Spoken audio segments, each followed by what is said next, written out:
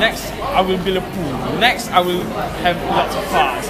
Next, I will buy a lot of um, strippers, it's like that. Okay.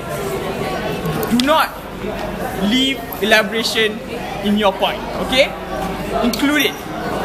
Make more elaboration. If you have facts, use those facts. Okay.